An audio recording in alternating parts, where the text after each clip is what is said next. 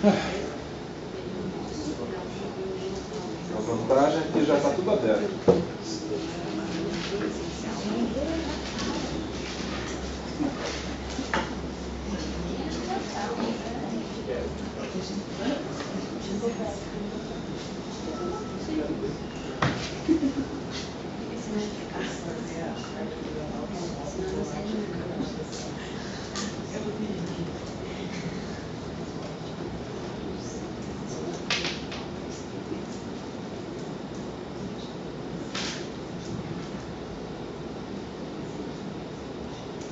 Tenho um texto definitivo, o que eu fiz foi alguns segmentos, é, meio que naturalmente, dali durante a pesquisa que eu estava fazendo, eles foram surgindo, né, foram aparecendo. Então eu fui anotando. Eu ainda, bem na hora que eu ia reunir tudo isso, um ponto de vista, uma, um ponto de vista sequencial, foi que eu me interrompi para fazer o trabalho lá em Teresina. Foi a melhor coisa que eu fiz na vida, porque o trabalho que eu simplesmente tinha escolhido um tema, tinha enviado para eles, depois eu comecei a estudar e vi que eu tinha me metido numa situação, numa enrascada daquelas. Porque a, a pesquisa me mostrou que eu não devia ter escolhido aquele tema para essa circunstância, que era muito mais complexo do que eu tinha condição de dar conta no período, e mesmo assim tive que fazer, né? foi meio complicado.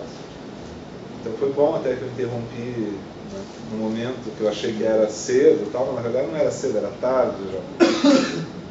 Então eu vou, vou para lá, vou fazer o melhor, que nem escoteiro, assim, faremos o melhor e ver o que, que dá. Até porque é um tema que na psicanálise faz falta realmente, que é basicamente a questão, bom, a minha velha questão do corpo de Freud, né, que trabalho lá há muito tempo só que eu comecei a abordar de um ponto de vista kantiano, para testar a possibilidade né, de fazer uma análise, inspirado pelo, pelo Loparin, fazer uma análise kantiana do Freud, a partir do, do conceito de antinomia, da razão, para ver se isso se aplicava, no caso do corpo, com o psiquismo. E isso foi inspirado para mim por uma banca que eu fui no segundo semestre do ano passado na, na, na Federal, e a, e a professora se colocou a questão, né, assim, que eu, é uma questão legítima mesmo. Aliás, nem sei se é preciso falar de corpo e psicanálise. Falou desse jeito, né? E, bom, eu, como se sabe, eu escrevi um livro sobre o conceito de corpo em Freud. Né? E o, o próprio Loparic, que no ano passado, falou, não existe conceito de corpo em Freud. Mas isso é um lado da antinomia. Assim, tudo é visto do ponto de vista psíquico. Só que quando a gente vai para a metapsicologia, que é justamente né, o que o Lopari quer evitar, porque na verdade não. Né, quer dizer, de um ponto de vista legítimo, ele quer evitar, não é que ele ele não conheça, evita isso, porque ele literalmente tem um outro projeto. Né? E dentro desse projeto dele, ele evita isso. Evita por razões justas e legítimas do jeito dele. Né? Só que isso me impulsiona, né? No sentido assim que, bom, se existe o ponto de vista do psiquismo, tudo tem que ser visto do ponto de vista do psíquico. Por outro lado, tem tudo isso aqui que a gente, por um outro viés, vai ver hoje, que é a questão da metapsicologia e o quanto essa história né, filogenética, ela tem um lugar importante na, na teoria, é, é uma coisa discernível, não é uma coisa indiscernível, não é uma coisa assim que a gente inventa. Né? A nossa metapsicologia a gente inventa, como diria o Cazuza. Não, não foi isso que ele falou. A nossa amor a gente inventa, né? a nossa metapsicologia a gente inventa. Não é assim. Ela está lá. E ela diz respeito a preocupações legítimas Né? Então esse corpo, na verdade, ele é também, sim, uma herança biológica e uma aposta do Freud. Embora, naquela nota lá dos três ensaios, ele foi acrescentando, né? Os três ensaios é o texto mais modificado pelo, pelo Freud ao longo da história, da história dele. É o texto mais trabalhado, retrabalhado.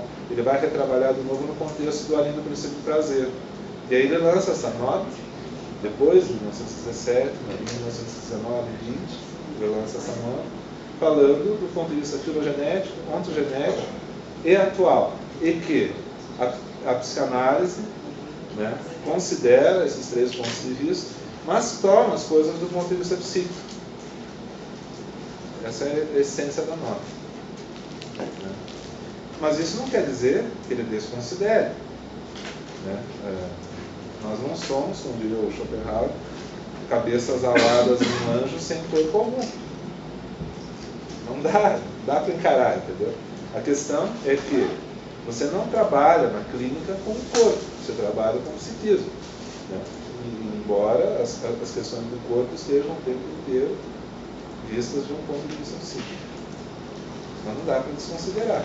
Por exemplo, que tem certas coisas que não são muito bem compreendidas exclusivamente do, do ponto de vista são. É, ou, por exemplo, simplesmente do atual. E aqui, eu, essa outra pesquisa que eu estou fazendo, ela conflui, porque é justamente sobre as origens da, da metapsicologia. E aí, naturalmente, eu sou instigado, né, de um lado ou de outro. Também a vinda do, do Luiz Eduardo, as conversas. Então eu comecei a, a, dar uma olhada em certas coisas do meu ponto de vista em relação aos meus interesses particulares. Então, esse é o histórico né, que eu cheguei aqui hoje, com esse papo, com essa conversa que vai ter. Então, basicamente é isso. Então, do ponto de vista de saber se tem uma antinomia ou não, significa sim, se existem né, determinadas é, enfim, conclusões racionais às quais a gente pode chegar, que são mutuamente excludentes. E ambas encontram legitimidade, simultaneamente. Elas são mutuamente excludentes, porém ambas legítimas, igualmente legítimas frente à nossa racionalidade. As antinomias kantianas, fora a terceira, elas são um pouco conflito de ideias metafísicas com ideias empíricas. Por exemplo, o mundo foi criado por Deus, né? mas o mundo né, tem que ser, poder ser explicado apenas por causas naturais. Né? Duas coisas que ambas têm sustentação, mas ao mesmo tempo não dá para a gente admitir que no frigir dos ovos né, ambas sejam verdade. A questão é que a gente não pode discernir o quanto cada uma dessas proposições é verdadeira ou falsa. Então, há um indiscernível aí. Só que esse indiscernível é exatamente pelo nosso modo de conhecimento. Né? Do ponto de vista epistemológico, a gente, é é verdade afirmar que o mundo teve um princípio, quanto que ele não teve um princípio. então, assim, né? Tipo, a gente não tem essa capacidade de, de dar um checkmate nessa questão. Senão os problemas estariam todos resolvidos, né? Então tem coisas assim. Essa questão do, do, em relação ao Freud, a gente está lidando, na verdade, com duas coisas empíricas. algumas coisas empíricas. O corpo é constatável. O corpo em, em alemão, você tem inclusive duas palavras para discernir. Né? Existe o Körper, que se refere ao corpo físico, um corpo sólido geométrico, um corpo natural, um corpo anatômico, tá? e Leib, né? que é esse corpo de um modo mais geral, mais humanizado, mais relativo à experiência que a gente tem do corpo. Ou seja, daria para dizer que esse é um conceito que se adapta bem à ideia de corpo de um ponto de vista psíquico. É usado naturalmente no alemão, não necessariamente desse jeito que eu estou fazendo aqui. Mas em geral, naturalmente, você tem a preferência, quando a gente fala de pessoas, live. E quando a gente vai falar de um ponto de vista físico, que, que é um termo latino, parecido com o nosso corpo. Körper. corpore, para ser bem literal. Uma vez eh, na Alemanha, eu peguei um livro de um, de um brasileiro que ele tinha escrito é, em alemão, só que com a fonética do português. Então, assim, tipo, ele pegava a pronúncia correta do alemão, só que escrevia essa pronúncia em português, como se fosse um, enfim, né, pra, no dicionário, eles querem informar qual seria a pronúncia, né? por exemplo, no dicionário português-francês, eles colocam lá mais ou menos como é que você pedia que pronunciar. Né? Qual seria a fonética do corpo. Então o cara escreveu o livro todo em linguagem assim, né? então é muito engraçado. Mas o, o fato é que essa distinção né, dos dois tipos de, de corpo já está na linguagem. Então. Um deles é uma, é uma coisa que é, é, é mais presente para nós, né, que é a ideia subjetiva do corpo, e que obviamente tem toda a relação com a psicanálise, a questão das, das zonas erógenas, né, as distorções. É, ontem, fazendo na clínica, as pessoas que têm problemas né, assim com, com a questão do, do corpo, a mudança do estado de espírito emagrece ou engorda a pessoa. Né? Então a pessoa falou, não, ela estava melhor essa semana, estava sol, não sei o quê. Né? Parece que eu até emagreci. Né? Foi o comentário. Então, assim, o corpo é tomado de verdade de um ponto de vista psíquico. A pessoa está se sentindo muito feia hoje, ou muito linda. Né? E é a mesma pessoa que estava aqui ontem, que estará amanhã, não tem um salto qualitativo assim, né? Não dá para depreciar e nem para melhorar tanto em 24 horas, salvo situações fora do comum, né? Mas essa percepção que a gente tem, efetivamente, ela determina muita coisa. Né? Na psicose, a pessoa acha que está sem órgãos, desapareceu o estômago, não tem mais estômago. Não adianta você falar para a pessoa que ela, que ela tem cérebro. Ela diz, não, ela não tem mais cérebro. Hoje ela acordou sem cérebro. O que seria uma metáfora, de um modo geral, acaba virando uma, uma coisa. E o que, que eu estou me propondo a, a fazer aqui hoje? Nós olharmos como que, começarmos a olhar, na verdade, é, através. Por que, que a o Luiz Eduardo me influenciou, eu fui olhar as cartas. Só esse é, esse é o ponto. Né? E, é, é, rever essas cartas, seguir mais ou menos o método dele para verificar algumas coisas desse ponto de vista para ver como é que é. As cartas afins. Não apenas. As cartas que me importavam, vamos dizer assim. As cartas que falavam, de algum modo, desse início da metapsicologia, da, dos começos, né? inclusive a escolha das palavras, das inseguranças, enfim, bater papo ali mais íntimo, porque é bem nítido, assim, isso, é, isso é uma coisa que o Luiz Eduardo reparou para a gente, né, que, que é um fato, é que a, a, o que está nas cartas, o que está na, na literatura, comparativamente assim, dá muitas vezes uma visão bem diferente grau de segurança, por exemplo, que ele tem em relação ao que ele está falando. Muitas vezes, quando você escreve um texto, é exatamente porque você está procurando estabelecer aquela linguagem do melhor modo possível para os outros, para enfim, qualquer leitor, né? é uma responsabilidade muito grande, você lança coisa muito grande.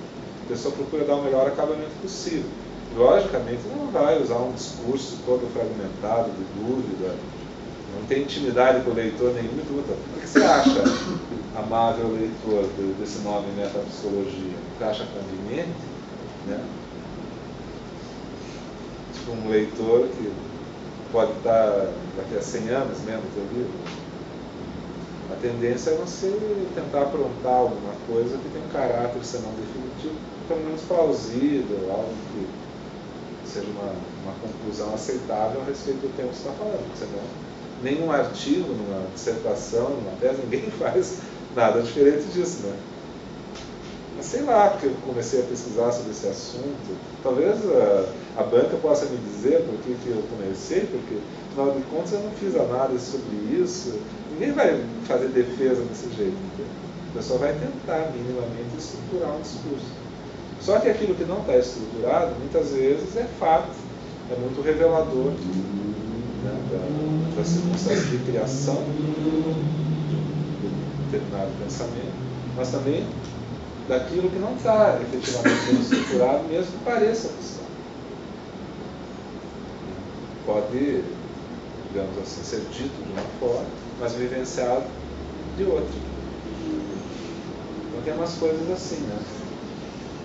Esses pontos de vista filogenéticos, né? Ontogenético e atual, eles não estão ali por acaso. Não é simplesmente um capricho. É uma necessidade. Uma necessidade de estruturação teórica de um trabalho é, clínico que é, ele precisa saber o que, que, ele pode esperar, o que, que ele é possível conhecer e o que, que ele pode esperar disso que está sendo investigado. E que, de certo modo, reúna aquilo que está posto na clínica de um ponto de vista mais amplo, não apenas mais amplo em relação à clínica, mas em relação a, ao ser humano e em relação ao contexto histórico da presença do ser humano cultura e mesmo com uma história do organismo humano, uma história. Né? O que, que pode um organismo? que, que pode? Ele pode reter coisas, ele pode reter a memória da existência organicamente O corpo atual pode ser um precipitado de evidências antigas, precipitado, uma expressão utilizada por ele, evidências antigas da espécie humana. Em que nível isso pode acontecer? E como que, por exemplo, a própria cultura se mistura com isso? São perguntas que você faz. Né? Que eu vou tomar tudo do ponto de vista desse indivíduo determinado que aparece aqui tudo bem. Mas quais as implicações prévias né, desse, dessa presença? A que, que essa presença aqui responde de um modo mais abrangente? a experiência dele acaba é, no princípio da, da vida, né? ou ela se estende historicamente para a pré-história. Até que ponto que a gente pode dizer que nós somos só a nossa própria experiência pessoal? O nosso organismo ele não tem determinações prévias.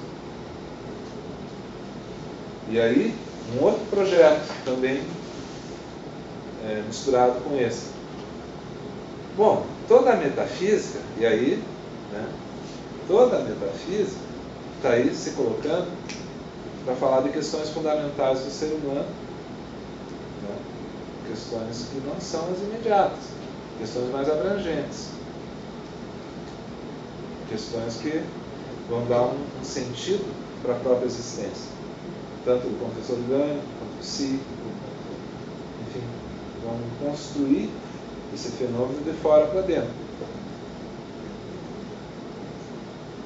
Ou seja, você coloca uma sobredeterminação dos fenômenos, uma explicação para o próprio fenômeno, daí você tem dois vieses, né? Ou a partir de causas transcendentes, ou seja, causas que não têm relação direta com o mundo empírico, a não ser determinando esse mundo empírico, mas não sendo determinadas por ele. Causas de uma única, que vem do suprassensível, né, de Deus, da, enfim, da cosmologia, de uma cosmogonia, né, cosmogonia como a história dos deuses. Né? E aí, a consequência disso é a nossa existência empírica. Ou a gente tem uma explicação cosmológica, no sentido do universo físico, como que ele sobredetermina esse mundo empírico nosso. Então se explica o mundo por causas exteriores ao, ao próprio mundo, ou você explica o mundo a partir do próprio mundo. E a partir disso é possível interpretar todos esses fenômenos que anteriormente foram interpretados pela metafísica de um ponto de vista psicanalítico. Ou seja, ele está literalmente fazendo a metafísica imanente do Schopenhauer por um viés psicanalítico. Explicar o mundo a partir do próprio mundo. Mas não apenas explicar o mundo a partir do, do próprio mundo. Explicar o mundo a partir das nossas condições psíquicas. Porque ele foca mais, ele, ele dá uma, faz um ajuste um pouco mais fino né? do que, é obter tudo isso. A partir de onde? Né? Qual é o ponto de vista a partir do qual eu paro? O aparelho psíquico. Como que a coisa se estrutura para um aparelho psíquico. Então, é possível analisar todos os fenômenos que já foram analisados por um viés metafísico de um ponto de vista metapsicológico. Hinter está por trás. Então, o, o meta, ele coloca um Hinter entre parênteses, quando ele vai perguntar para o Fliss se o Fliss concorda com esse nome. Então é exatamente aquela explicação que eu já tinha dado lá atrás para vocês, nem, nem tinha visto essa, essa explicação dele, mas antes, quando eu estava analisando pelo viés Schopenhaueriano, eu já tinha sacado que não é apenas o que está além da experiência, é também o que está por trás do prefixo meta. Meta não é só o que está além. Está além é exatamente essa metafísica transcendente. Né? Se perguntar pelo além, o mundo do além, isso é uma expressão coloquial mas O mundo do além. Agora, existe também essa explicação do mundo a partir das condições psíquicas da própria humanidade. Quer dizer, essa própria explicação transcendente, ela tem uma explicação psicológica, ele vai dizer. E mais do que isso, metapsicológica. Porque senão, se você fica só no psicológico, você tem que ficar justamente nessas relações clínicas imediatas. Transferência né, daquilo com que vocês vinham trabalhando, que a gente vinha trabalhando com o Leparia condições é, discerníveis que aparecem na clínica. Discerníveis a partir da própria clínica. Mas isso dá, fornece ao Freud uma imagem insuficiente dos fatos. Insuficiente porque, surgem várias questões que se impõem a ele pela, própria, pelo próprio processo, décadas que levaram cada vez tendo que lidar com o problema e tentar algum tipo de explicação mais abrangente.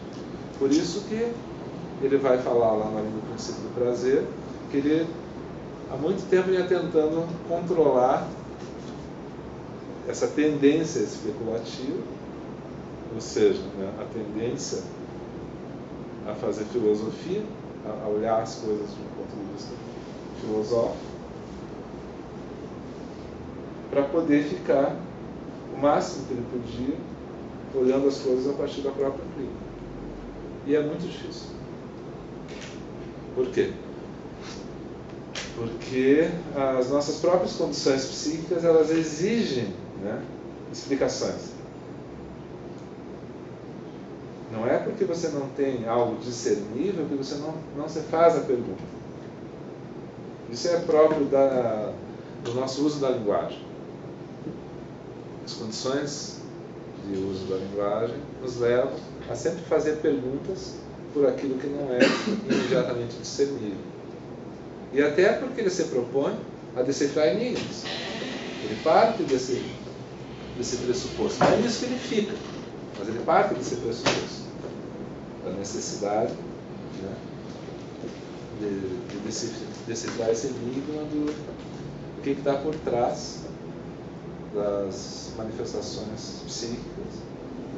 E se é possível, por exemplo, você falar que as causas são todas elas ligadas com a experiência, a experiência efetiva da pessoa, ou se ela é sobredeterminada não por um mundo transcendente, mas se ela é sobredeterminada pela história dos organismos que nos precedem, ou seja, a história na qual a gente é incluído como organismo.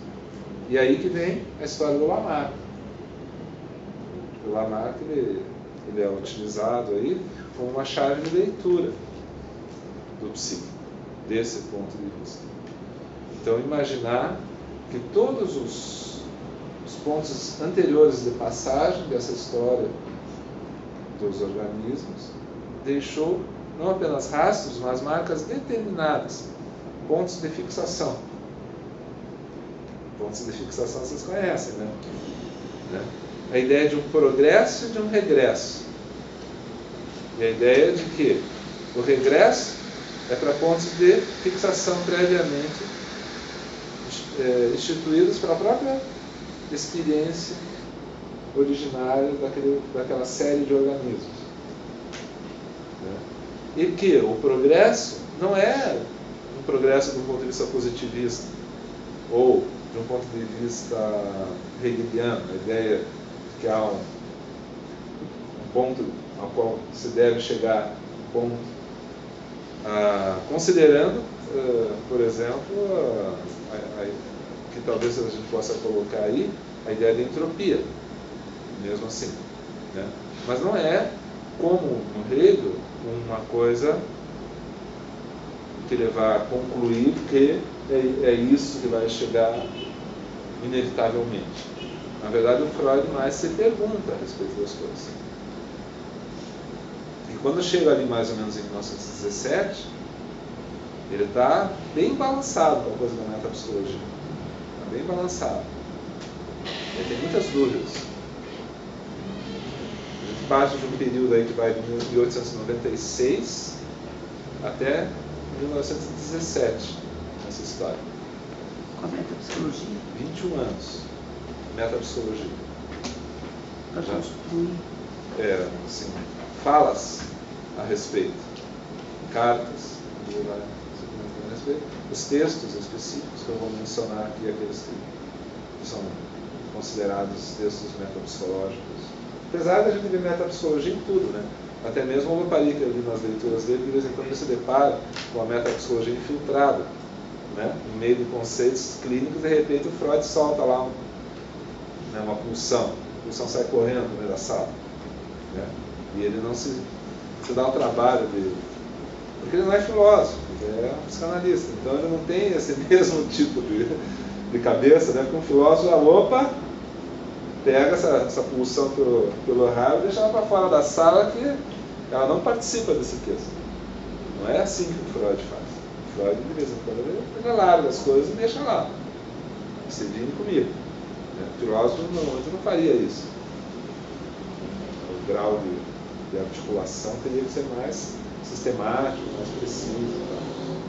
Uma exigência filosófica que o psicanalista não necessariamente vai compartilhar. Até porque ele não se considera um filósofo. Não teria por que se considerar, né? Por mais que exista sempre muita filosofia e qualquer tipo de concepção. Né? Mesmo que você faça uma articulação teórica, tem que ter filosofia ali, não tem que escapar. Mas pode não ser o foco. Então ele, ele coloca essas coisas. E ali, mais ou menos em 1917, ele está efetivamente bem, assim, vamos dizer assim, entre 1917 e 1919, bem desarticulado em relação a isso. Tá? Assim, sérias dúvidas a respeito do, dos resultados. Né? Porque, especialmente em 19, ele vai falar ali, depois eu vou aos textos, a gente vai ver isso com mais paciência. Mas só para fazer uma, uma, uma ordenação geral. Assim ele vai começar a se referir à metapsicologia como uma fantasia científica.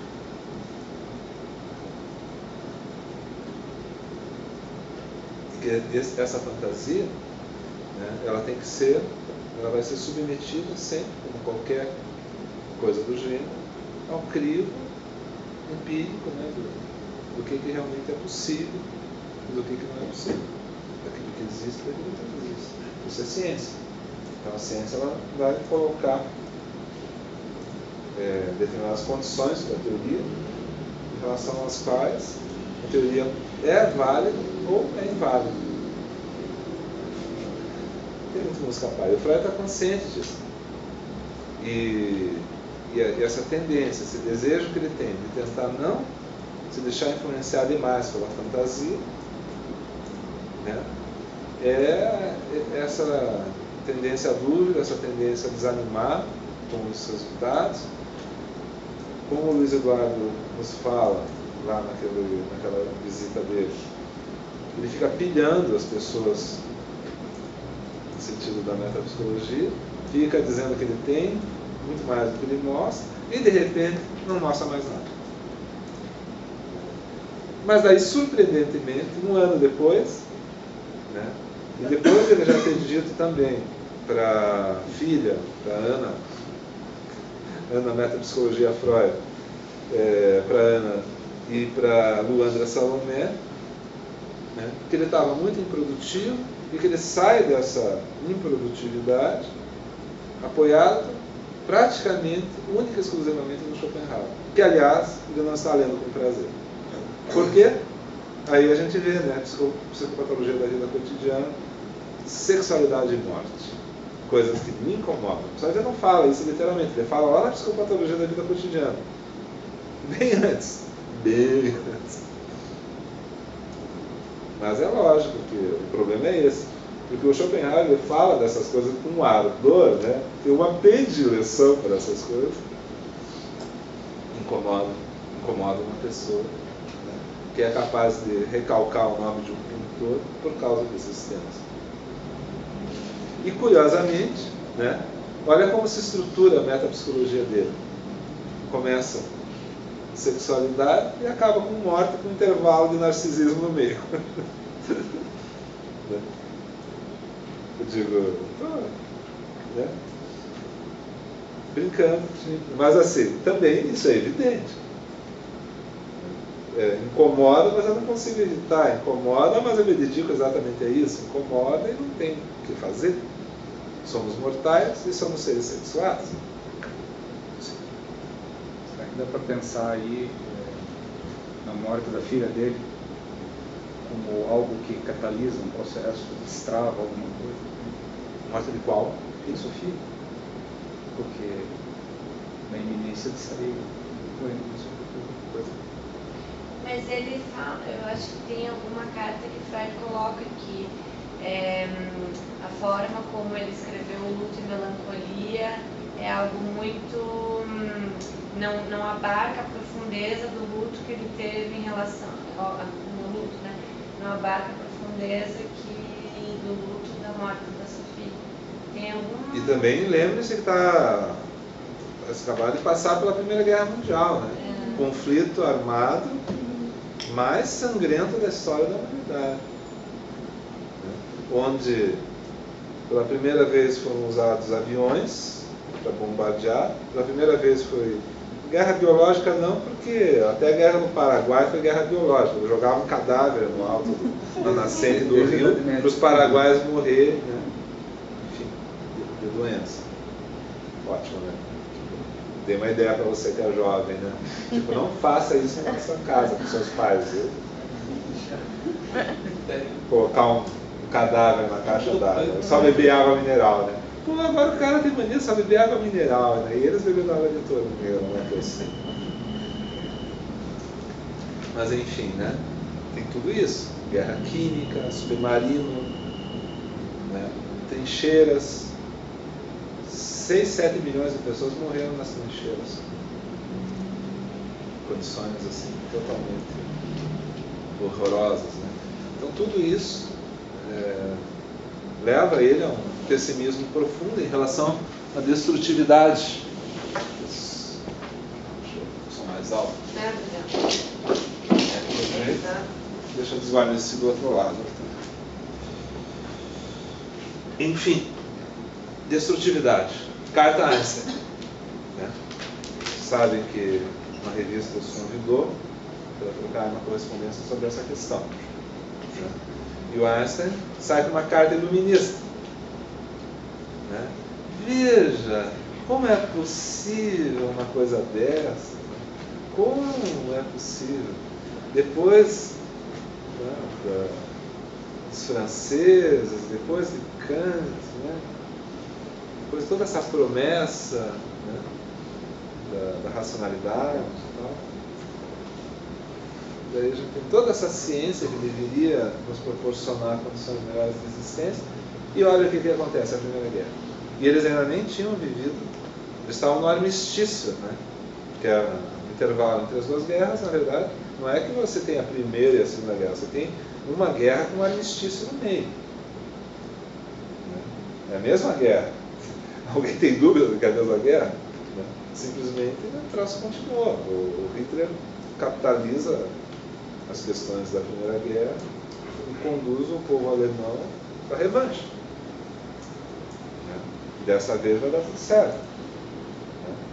Toda a estética nazista né, é uma, é uma, é uma estética é, formada justamente para convencer as pessoas que dessa vez vai dar certo. Não tem como falhar. Nós somos muito superiores.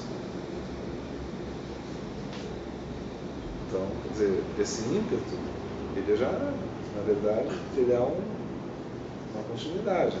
E o Freud está no meio de tudo isso. É filha, é um monte de gente conhecida, morta, né? condições de existência muito difíceis, inclusive para ele como psicanalista. Né? E aí tem essa correspondência com a Luanda Salomé, por exemplo, que ela cobra a, a metapsicologia, né? que falta, e ele fica adiando, adiando, adiando, até a hora que ele vai e fala, olha, sabe a metapsicologia? Não vai sair, entendeu? Só que daí é isso que eu queria pontuar nesse mesmo processo, logo ele vai para as férias dele, né? e está lá. Novamente o Otto Hahn, que é o embaixador no reino da filosofia, né? entrega o que ele deveria ler de Schopenhauer, e ele lê muito ao contragosto, sexualidade e morte. E adivinha? A segunda teoria pulsional é exatamente pulsão de vida e pulsão de morte.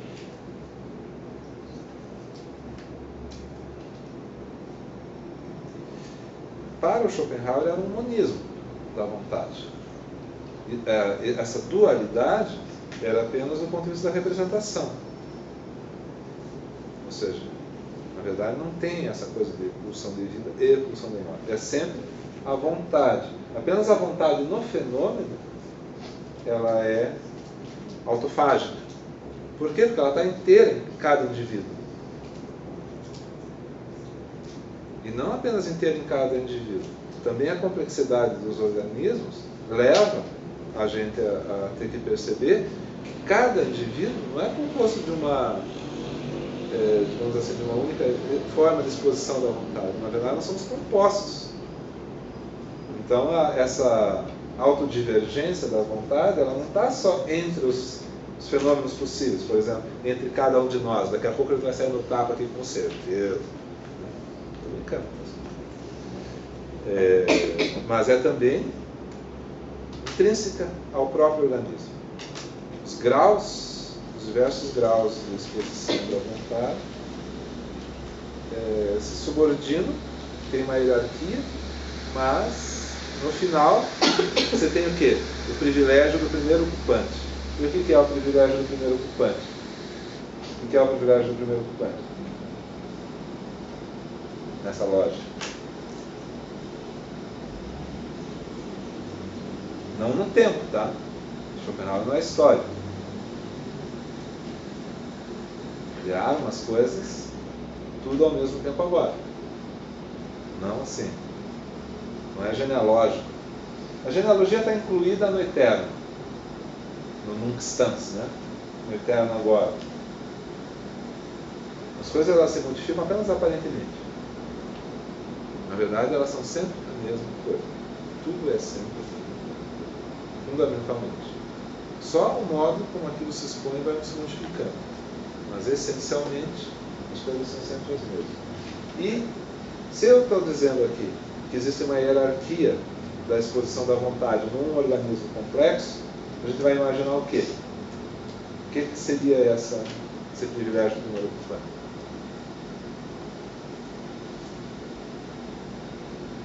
O que é o primeiro ocupante? Pensa em Freud. Não conseguem pensar em termos Chopinianos? Pensa em termos freudianos. O pai da horda. Não.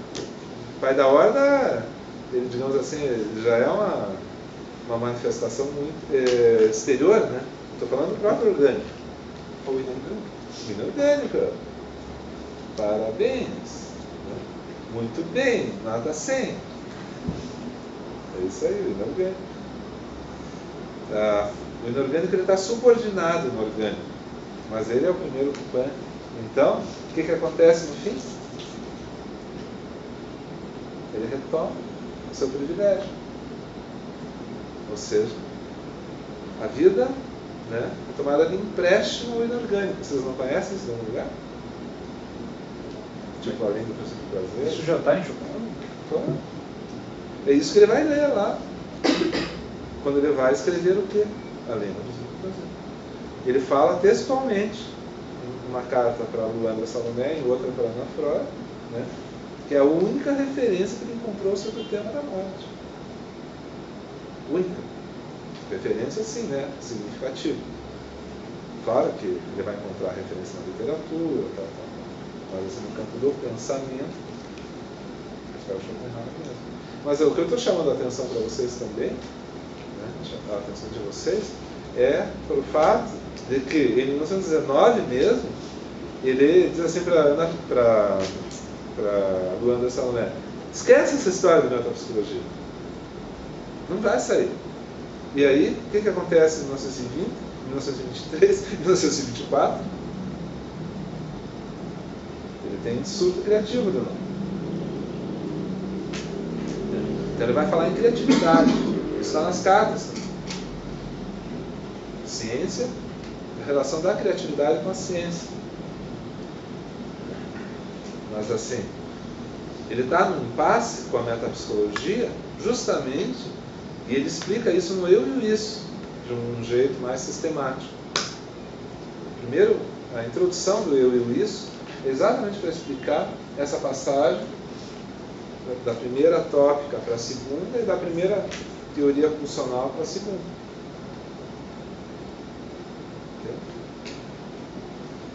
Assim mesmo. Não é que eu abandonei, eu reorganizei as coisas e incluí novas. Ou seja, eu reestruturei a teoria sem abandonar completamente a teoria original. Porém, a gente vê bem nitidamente que essa teoria original é muito problemática para ele. Ele está insatisfeito, tanto que ele diz assim: ó, esquece esse negócio.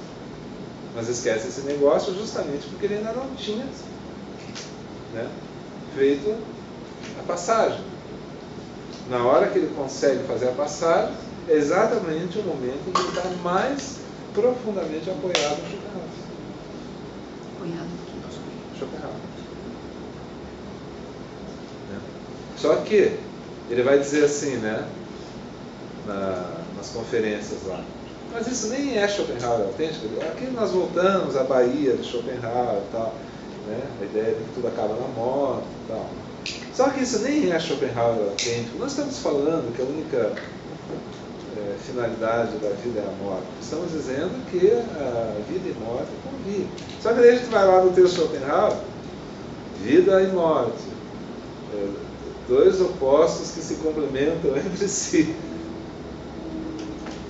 Não enrola. A dificuldade, ficar muito envolvido com filosofia. Não quero. Não quero dependência das camadas em relação à filosofia. Então ele lida com esse problema. O Rank é o grande intermediário dele. Ele usa isso desde a interpretação dos sonhos. Né? Toda vez que ele vai falar é, Schopenhauer também era da opinião de que os sonhos, quer dizer, que o sonhador tem implicação moral em relação aos seus sonhos. Quem me mostrou isso foi o Otto Hebb. Não foi ele que leu, entendeu? Não foi ele que leu. Ele sempre coloca um embaixador no meio. Né? Qualquer coisa fala que foi ele. Né? Conselhos do Baltazar Graciano. Arrume alguém para levar pancada para você. E o Otto Rank estava escalado lá para levar as pancadas filosóficas. Quem se interessa nessas coisas é o Rank. Eu não tenho aptidão para filosofia. É muito mal ajeitado essas coisas de filosofia. Sou um sujeito empírico, sou um homem de ciência. Né? Se tem algum paradigma ao qual a psicanálise está afiliada, é o paradigma da ciência, e não um paradigma filosófico, religioso. Por quê? Porque ele não associa, uh, para, aliás, a humanidade em geral não associa paradigma filosófico a não ser com uma metafísica transcendente. E ele não queria, na verdade, mas curiosamente, exatamente como Schopenhauer e Nietzsche, está filiado a um paradigma transcendente. Por exemplo, a ideia de que Deus criou o mundo e que esse mundo está ordenado pelo demiurgo de um jeito, de outro. Daí um monte de conceitos que não têm conexão direta com a experiência. Então a gente não pode dizer que a metapsicologia né, seja formada a partir de conceitos desconectados da experiência. Mas também não se pode dizer que os conceitos da metapsicologia possam ser é, aferidos a partir da experiência diretamente. Então ele fica na, no fio da navalha em relação a essas coisas. Você não tem né? como eu falei, pulsão correndo pela sala. Não dá para dar nome para pulsão assim, fisicamente falando. Da, uh, uh, Nietzsche, por exemplo, trabalha com muitas pulsões uh, objetivamente vinculadas com nomes. Pulsão de ver, pulsão de ouvir, né? parecem as as faculdades, né? Faculdade disso, faculdade daquilo. Como é que você explica as coisas? Por uma faculdade disso, uma faculdade daquilo. Então, no fundo, é só numa lógica de nomeação, mas que, digamos assim, de certo modo ajeita as coisas, mas não tem como você né, estabelecer uma conexão direta. Nesse, nesse sentido, a, a clínica e o pensamento clínico, o pensamento técnico, de certo modo é um mundo e o mundo da metapsicologia é uma superestrutura que se coloca ali para unificar os fenômenos do mundo, inclusive o fenômeno do psiquismo no mundo, e a análise do mundo a partir do psiquismo. Então ele precisa dessa amplitude maior, porque ficar encaixotado no empírico é muito complicado. Né? Desejo. Mas desejo a partir do quê? Qual é o fundamento do desejo? Ah, mas aí você complica a minha vida, né? Vou ter que fundamentar o desejo. Então, ele, ele começa a necessitar de explicações mais abrangentes. Né? Explicar as coisas pelo Ed, beleza. Mas e o que que. Né? Porque a gente pode sempre, é, riumianamente, aristotelicamente, se perguntar a respeito das causas. E se é possível atribuir causalidade como ele faz. Né? Porque o início da psicanálise é, é uma, uma tentativa extremamente ousada né? de dar explicações, ou seja, de decifrar o enigma dos fenômenos psíquicos. E aí, a hipótese de que você, interpretando isso, né, você resolve os problemas do paciente. Você tem uma cura. Só que essa tanto isso não é demonstrável pelos casos, e obviamente o caso do Homem dos Lobos é o caso emblemático desse ponto de vista, mas qualquer caso né?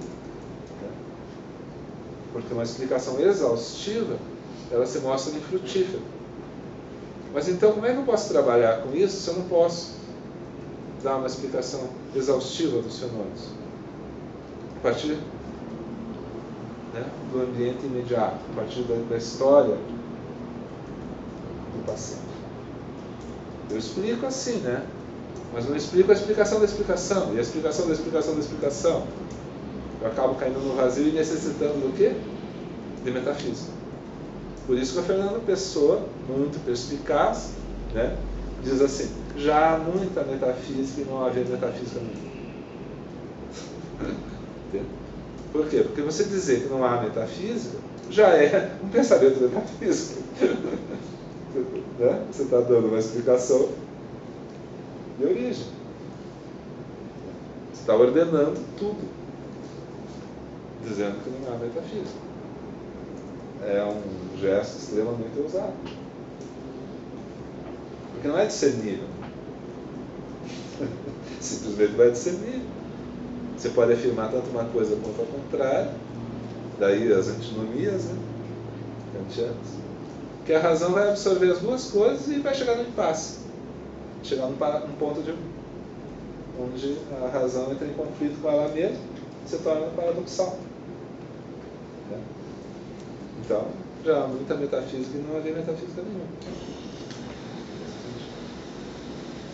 Então a gente precisa saber o que está por trás da psicologia. Esse é o ponto da metapsicologia. E não está além. Se você perguntar o que está além da, da psicologia, você vai cair na psicologia racional. Entende? Não, nós somos assim, né? Porque Deus quis. Tipo a Melinha, né? Foi Deus quem quis assim. Beleza? Melinha filósofa do Nordeste. Casada no Zé Ramalho. Foi Deus que. Beleza? Estou satisfeito. Mas, como a minha fantasia é uma fantasia científica, eu não posso ficar satisfeito. Eu tenho que me perguntar quais são as causas. Se eu posso discernir alguma coisa além disso. Primeira aposta dele há um mundo é, hieroglífico, há um mundo que precisa ser interpretado. Né? Ah, o psiquismo é como uma tábua de hieróglifos. Né? É como o manuscrito Voynich. O fato de nós não sabermos decifrar o manuscrito Voynich não significa que não tem algo a ser decifrado ali. Pode até ser que não, mas assim, como a gente não sabe, cria essa hipótese. Aí vai tentar aplicar o método e você chega até certo ponto. Mas né, ele próprio, dúvidas, até dizer chega, e os outros colocando bem, mas Freud. Né? Essa história de Édipo, né? esquisito, né? Tem muitas queixas, muitas contradições, muitas opiniões contrárias, muitas pessoas que não aceitam isso, que não aceitam aquilo. Como que eu vou encaixar o problema da, da, da agressividade? Como que eu vou encaixar o problema da destrutividade após, ah, especialmente, né, esses fatos? E, e também a, a questão do próprio orgânico, né? Ele está ali com a, a coisa do diagnóstico do câncer, enfrentando a, o problema do envelhecimento, é um problema que toca a todos nós. Que, que isso significa? Quando ele leu Schopenhauer, é óbvio que é desagradável ver essas explicações. Né? Esse é o privilégio do primeiro ocupante. Né? O inorgânico reclama seus direitos sobre o orgânico. E você vai ter que entregar. é uma boa explicação, porque você explica o mundo a partir do próprio mundo. Mas, por outro lado, não é uma explicação agradável. Porque ela nos leva, por exemplo, à ideia de entropia. Né? Não é simplesmente estabilidade. A coisa tende mesmo à morte. Tende a, a grande todo o processo leva ao resfriamento do universo. Coisa física. Tudo que é físico né, tende a entropia. finalismo. Aí. Há uma explicação teleológica. Mas é uma, uma explicação teleológica fraca, vamos dizer assim. Não é como você colocar uma finalidade no absoluto, né? no final, aquilo que a história humana é uma história da revelação do absoluto. Ou esse absoluto, outro nome de Deus. Embora eu não queira falar em Deus, tá? A elegância não permite que eu fale em Deus, eu falo do absoluto. O que eu vou fazer com isso? Falar em natureza. É. Mas também, né? Não queremos dizer que a, que a natureza é um organismo. Isso é uma ideia. Nietzsche, por exemplo, dizia que essa ideia era repugnante. Pensar espécie de espinosismo, assim, né? Mas o que, que eu posso pensar então? Eu posso pensar que a coisa vai, que a coisa vai, que a coisa vai, e acaba. Né? Acaba. E o inorgânico não tem finalidade. O inorgânico em si não tem finalidade. Mas o fato de a gente, de certo modo, arrumar para isso é um tipo de finalidade, por mais fraca que seja. Né? Não é assim, não tem significado um pouco terrível pensar assim, ah, então a nossa existência não tem significado. Ele vai responder isso sobre a transitoriedade. Né? É justamente a escassez do tempo, enfim, a, a falta de sentido que nos leva a tornar a nossa vida significativa. Trabalhar em torno do tornar a vida significativa. Então, quer dizer, aí você retoma o problema da clínica. Então é uma fantasia científica, de certo modo, mas, por outro lado, se baseando no fato de que não há nenhum tipo de finalidade, não há progresso, há um progresso, mas não uma, um progresso determinado. Tudo que for incluído, aí é que está. Tudo que for incluído historicamente no processo vai servir como combustível para a própria história.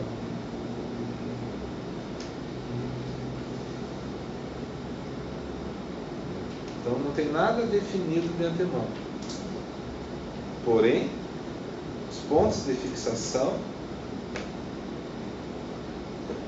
uma vez definidos, eles se tornam algo para onde retornar. Então há um progresso, mas esse progresso ele não está definido de antemão. Então a palavra aí tem que ser olhada com cuidado. Não é a ideia assim de que tudo vai dar certo, ou que há um acabamento da história, a ideia de um bom acabamento. Né? Por outro lado, no que se refere ao passado, o passado é implacável. Eu estou lembrando que o Escreve no livro dele, Erótica ele aponta justamente o fato de que é, no, luto, é, no texto Luto e Melancolia, é, Freud, quando vai descrever o luto, ele mostra justamente que não tem uma substituição de objeto. Que, na verdade, como se trata de uma representação, é sempre o mesmo objeto. Né? Então, nesse sentido, não, é, da repetição, da, do ponto de fixação. É. Sempre se retorna para aquilo que um dia já terá existido desde que você não possa ir para frente. Porque a ideia é sempre essa. Se, se você não tiver obstáculo, você vai. Vai adquirindo. Mas isso é lamarquismo. Lamarquismo transposto para uma linguagem psíquica. E aí vem uma fantasia cósmica de novo, uma fantasia científica. Né? A pergunta de Freud sobre o quanto, né? daí ele vai, ele vai usar como exemplo prático disso na conversão estética, quanto a, e, e a onipotência de pensamentos, o quanto essa onipotência de pensamentos não determina a própria organização do corpo também.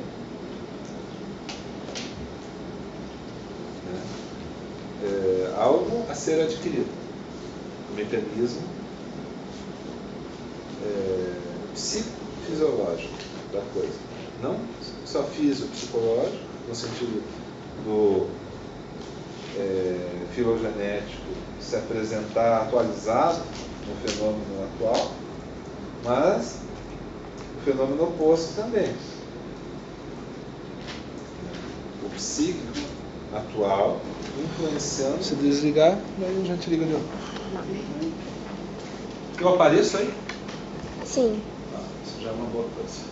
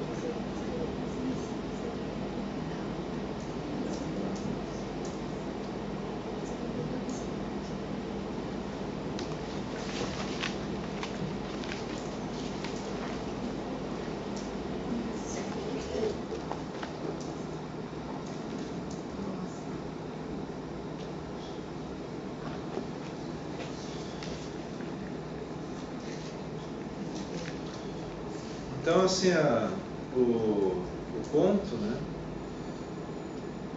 Eu parto da, da questão que eu estou investigando agora é que, assim, é possível dizer que a metapsicologia opera com conceitos que não podem ser apreendidos diretamente da experiência? Ou é o, o contrário? Ou uma posição intermediária entre as duas coisas?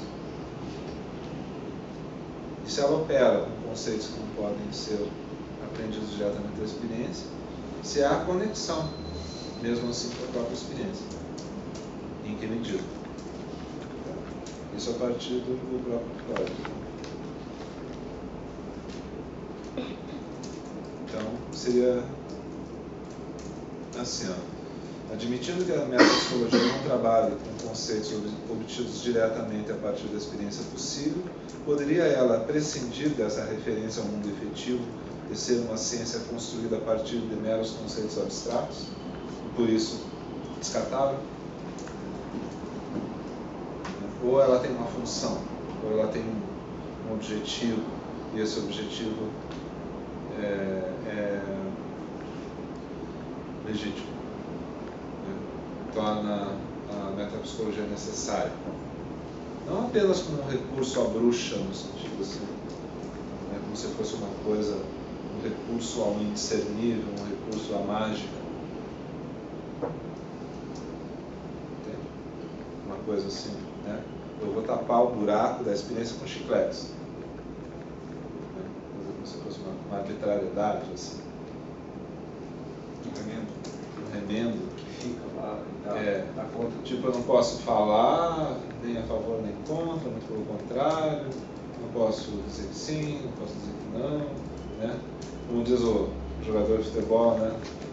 É, fez que foi, mas não foi, acabou não fundo. Coisa assim, tem razão de ser. E não apenas tem razão de ser no sentido é, lógico, né? É, ou no sentido de uma metafísica transcendente, mas sim uma razão de ser empírica, embora não seja diretamente apreensível da experiência. Ser é, apreensível da experiência significa que tem que ser totalmente empírico, formular hipóteses sobre o empírico,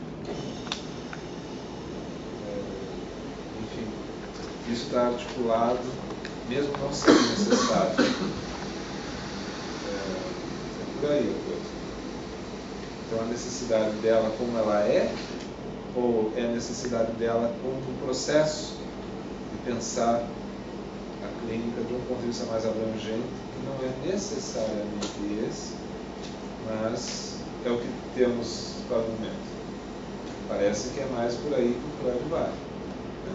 É o que temos para hoje. Pode ser que isso seja reformulado, é desejável que seja reformulado, mas é o que temos de melhor. Conceitos que estão sim conectados com a experiência. Isso ele fala lá no Além do Princípio do Prazer.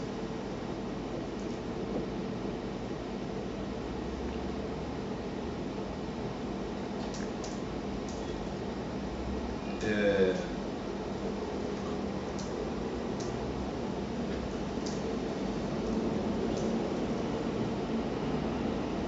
Só para a gente situar um pouco a, as bases assim, né, dessa metapsicologia, a gente está dizendo aqui que ela é uma metapsicologia que está procurando é, pensar a experiência a partir de conceitos mais amplos.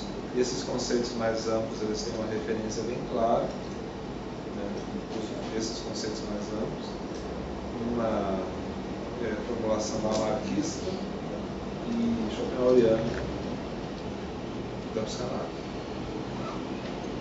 Schopenhaueriana, por causa desse recurso ao, ao inorgânico né, e, a, e a ideia que uh, existe uma história natural do próprio organismo que, que, se expõe de uma determinada forma, da qual nós somos um caso, e Lamarckista pelo modo como, inclusive é um modo que o próprio Schopenhauer é, estrutura dele, não é só o Freud, o próprio Schopenhauer. Embora, aí que está, o, o Schopenhauer não acredita isso é o que a gente viu no, no semestre anterior. O Schopenhauer não acredita em fundamentar a partir da matéria. Para ele, a vontade é uma coisa metafísica, ou seja, é algo que está antes do fenômeno, inter. É anterior ao fenômeno. Então, a vontade determina a matéria e as relações causais, mas não ao contrário. Então ela não é determinada por nada. E a gente vai ver na própria, no próprio artigo sobre o inconsciente o modo como o Freud estrutura ah, o discurso sobre o inconsciente é exatamente o modo como Schopenhauer estrutura o discurso sobre a vontade. Né? É uma, por definições negativas, por uma ontologia negativa. Não vai falar de um modo positivo vai falar com o que não é. E o que é, nesse caso, o que tem ali de, de conhecido, são representações.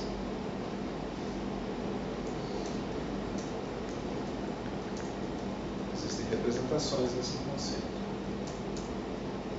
Mas a ideia, por exemplo, da, da temporalidade é negada. Então você tem o que ali? Você tem, na verdade, é, tudo ao mesmo tempo agora. Mas esse tudo ao mesmo tempo agora, é engraçado, é porque tudo está ali fixado, né? não no tempo, não historicamente, mas está tudo ali fixado, determinado, mas não historicamente. Então, o, a possibilidade do retorno ao que existiu, ele vai, falar, ele vai usar exatamente a metáfora da arqueologia. É como se tivessem camadas, tudo preservado. É, é porque é preservado é que é possível retornar. E as representações estão ligadas às cargas afetivas. Por isso que é possível as cargas afetivas passarem de uma representação para outra.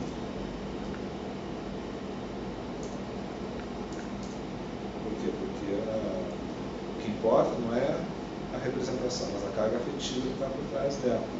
Por isso que quando ele vai fazer a análise dos sonhos, né, ele recomenda que você preste atenção, não propriamente no que está sendo dito ali, mas sim na carga afetiva. Para você decifrar o que, que significa os sonhos. Por quê? Porque está tudo condensado, tudo deslocado. Então você precisa ver a que espécie de afeto que se refere. Então, para você ter um encadeamento lógico, você tem um encadeamento lógico que ensina o teu afeto. Por quê? Porque aquele afeto ali tem que corresponder. E quando não corresponde, você tem uma lacuna. E quando você tem uma lacuna, esse afeto, na verdade, depois transferido para uma outra representação. Se tiver muita lacuna, daí você começa a pensar na psicose. Por quê? Porque você não tem um bom encadeamento linear, tempo, essa, isso do Loparic fala da temporalização. Por isso que o final do Loparic é assim, né? Nos últimos encontros aí, a ideia né, de que você precisa temporalizar o que está por trás. Então, se você conseguir temporalizar, você, de certo modo, você organiza. Agora, isso não é possível fazer na psicologia justamente porque é, o, o bombo é muito grande, não tem, não tem uma estruturação, não tem uma referência. Essa referência é, serviria como âncora para organizar todas as representações simultaneamente. Uma forma desse tipo. Agora veja só o que, que a gente encontra então nas,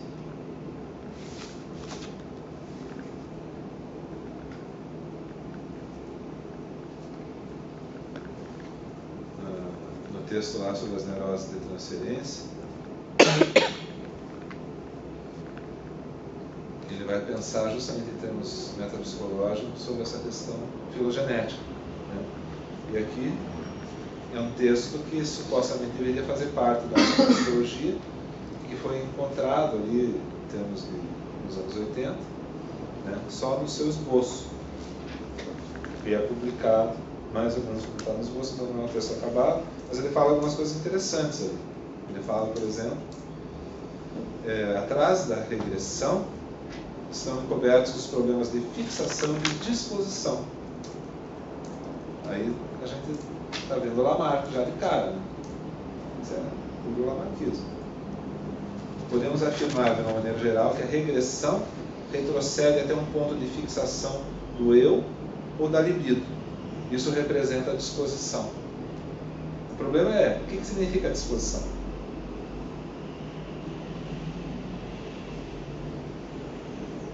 É, portanto, o elemento mais importante na escolha da neurose. Ou seja, né, não é uma escolha consciente, é um modo como a coisa se estrutura. A fixação é produzida pela fase do desenvolvimento que foi demasiadamente marcada ou talvez detida por um tempo demasiadamente longo para que possa passar para toda para a fase seguinte. Então, essa coisa assim daquilo que foi mais marcante, mais significativo, não necessariamente melhor ou pior. Origem congênita ou então produzida por impressões precoces. Ou congênita ou produzida por impressões precoces, ou seja, histórica, adquirida ou não adquirida.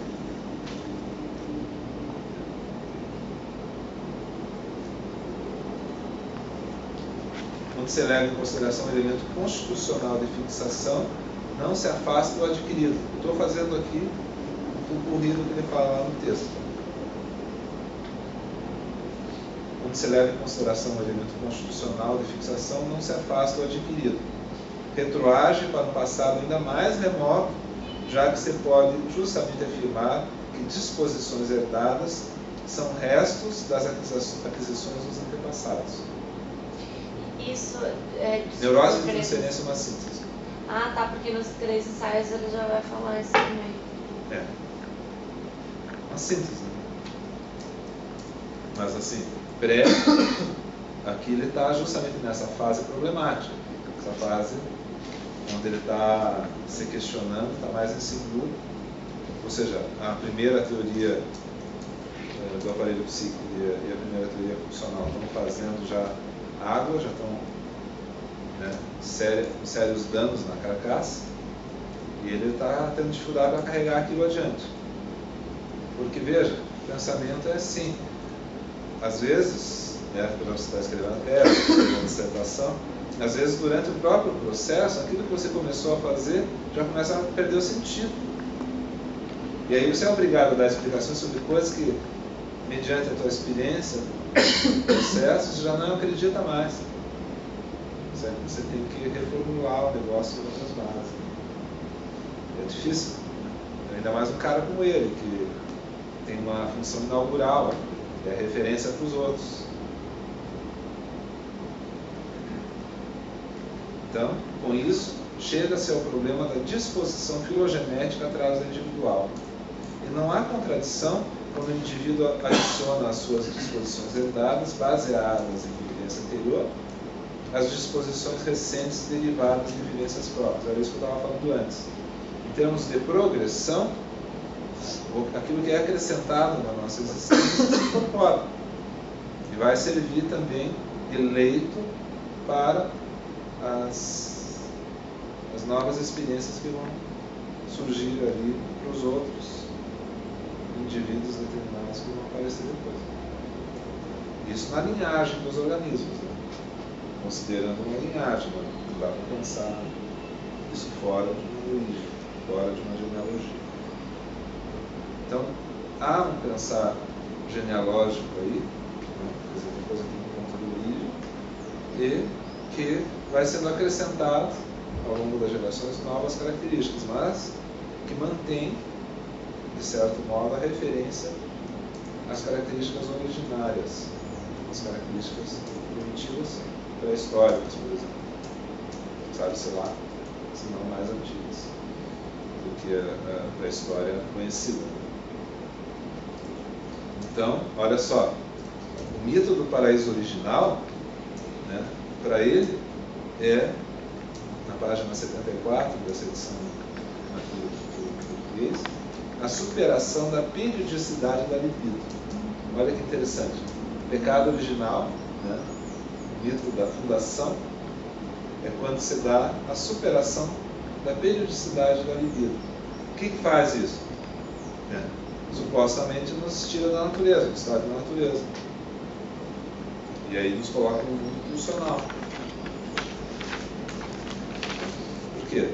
Periodicidade da libido está muito associada com essa visão que, na verdade, é um tanto limitada, um pouco preconceituosa, de que no animal há essa periodicidade.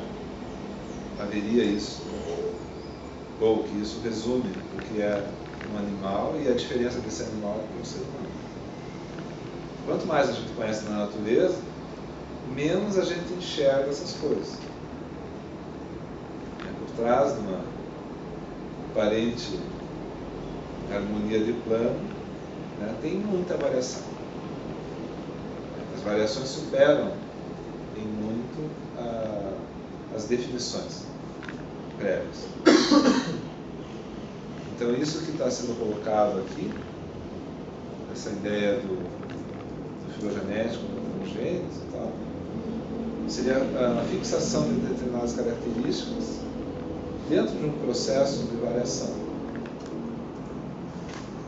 Só que ele, ele vê isso de um ponto de vista um tanto limitado, do ponto de vista biológico, com as informações que existiam na época, e até informações um pouco mais antigas. Mas esse é um ponto interessante, né? Essa perda do, do paraíso, né? essa coisa do pecado original, é quando você passa a tomar decisões a respeito do teu desejo. Né? Tipo assim, não quero ser, fazer parte do filme Bambi, né? Tipo, todo mundo vai para a toca no inverno, quando sai, saem os filhotinhos lá. Primavera, é primavera. A sagração da primavera. Tem que tem que pensar em termos humanos. Em termos humanos é, não tem dia, não tem noite, não tem inverno, não tem verão. E isso é pecado original. Porque tem muitas implicações nessa questão, né? Você, você passa, é a perda da inocência. É quando você percebe que você pode modificar as coisas, que você pode é, fazer com que as coisas trabalhem para você. Né? E na natureza você observa, você observa né, que, digamos assim, dadas as condições adequadas, uma disputa pela fêmea ali, eles fazem o que podem, cada espécie faz o que pode para disputar. Mas o, o, ser humano não, não tem essa, essa história. Ele vai, ele vai, por exemplo, reservar mercado, né? Por exemplo, fazer um harém. Poligamia pode, mas só que lá. Né? Ele vai manipular a história. Então é a perda da inocência. Eu crio um código que me beneficia e digo que isso é natural ou divino.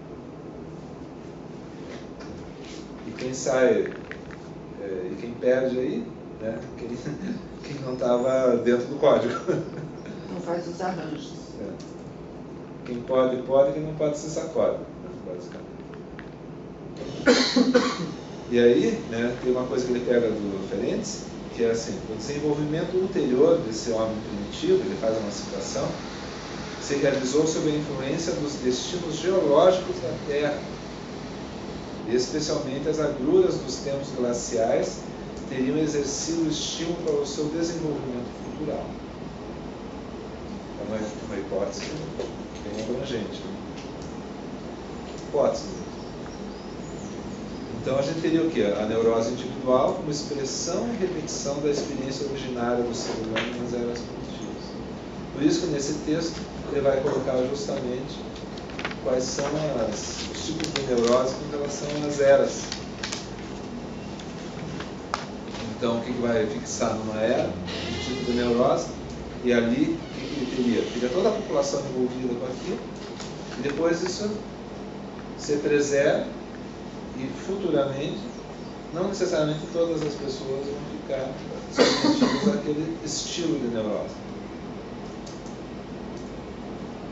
Embora cada um de nós seja uma espécie de composto também. Então a fixação pelas eras, pelas épocas, vai gerar também, digamos, esse resíduo que vai permitir a neurose particular, depois no caso individual. acontecimentos muito primitivos, onde todos os seres humanos estavam envolvidos, são preservados né, na história do organismo e depois se repete ou não como neurose individual. Mas está lá disponível, está lá propenso a isso. E por mais que você se estruture de um jeito, não quer dizer que você não vai utilizar recursos de uma outra estruturação. Por exemplo, o cara está estruturado de acordo neurose obsessiva não quer dizer que ele não vá fazer sintoma estéreo.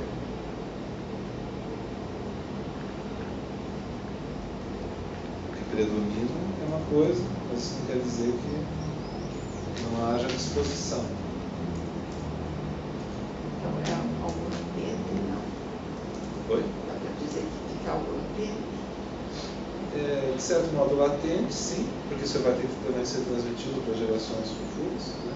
não necessariamente manifesto, e manifesto em determinadas condições. A predisposição. A predisposição diz que vai haver algo, mas ah, do ponto de vista histórico, apenas os acontecimentos atuais é que vão determinar o quanto de cada uma dessas coisas vão constituir a pessoa.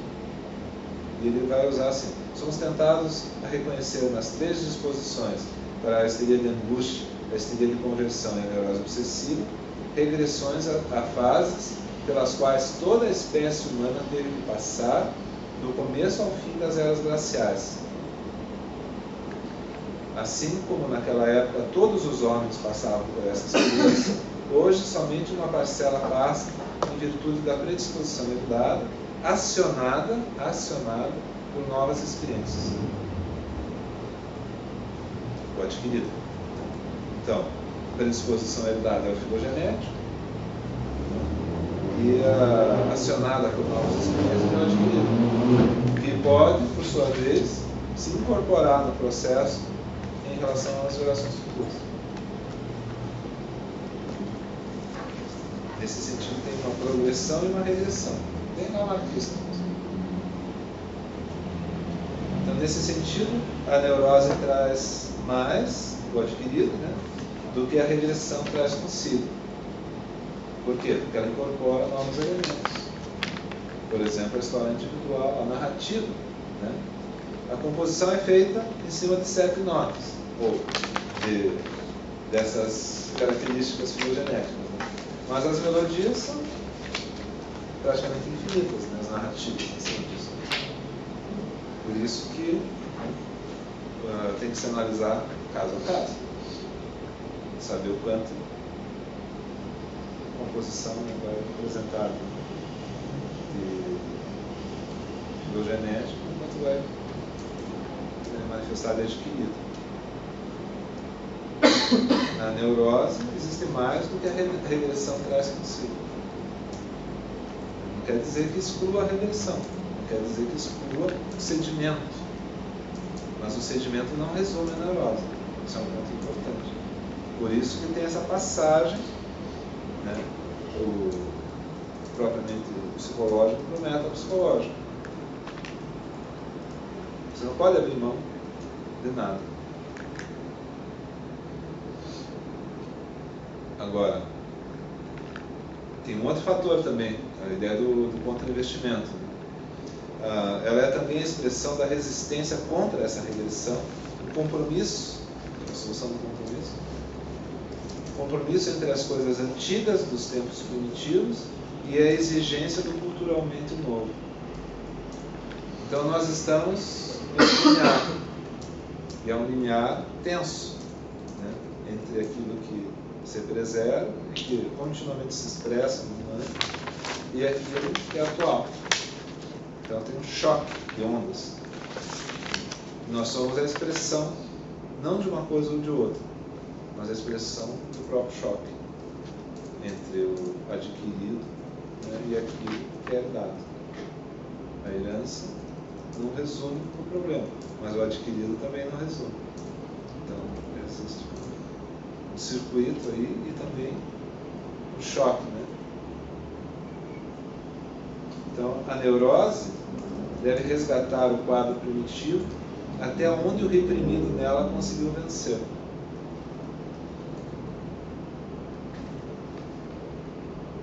Ou seja, é, porque ele, ele, faz essa comparação entre a histeria, as duas formas, e o como, entre aspas, aquisições antigas da humanidade, era glacial.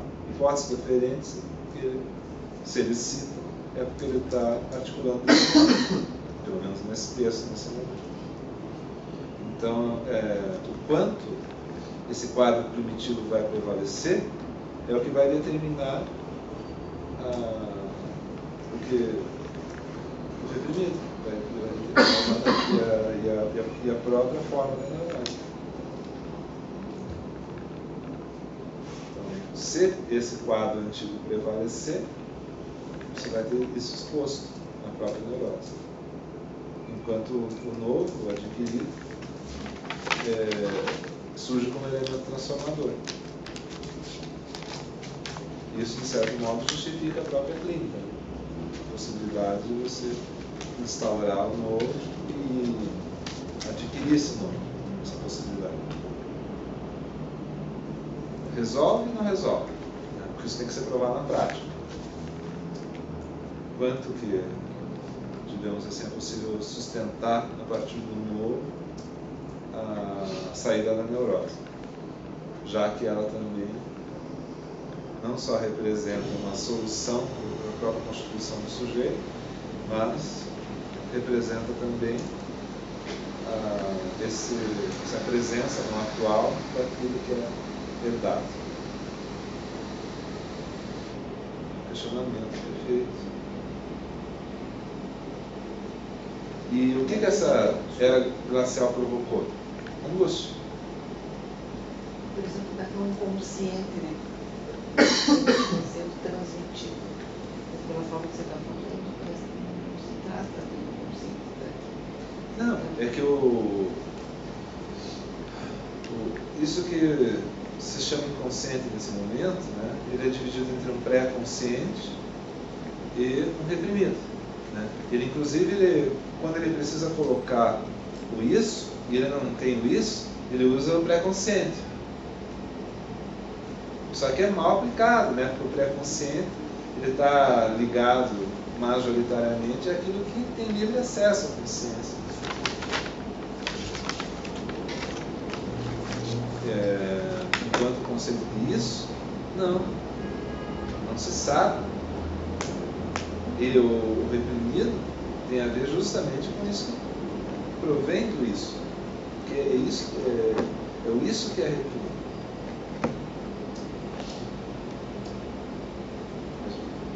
com isso dá para pensar numa instância Sim, e aí as representações ligadas com isso é que permanecem sob recalque, tudo bem, mas pode esquecer que essas representações têm carga afetiva. No fundo, não é a representação em si. Tanto que quando há o deslocamento do afeto para outras representações, ele passa. Passa por quê? Porque, como já não está mais naquela representação adequada, já você perde o rastro, então a coisa pode ter livre acesso à consciência. Agora, a angústia vem justamente disso, fato de, de, como se fixaram essas experiências, elas se fixaram frente ao quê? Frente à penúria, frente ao, à exigência de uma era né, que cobrou da humanidade um preço elevado. Mas assim, isso não é o começo.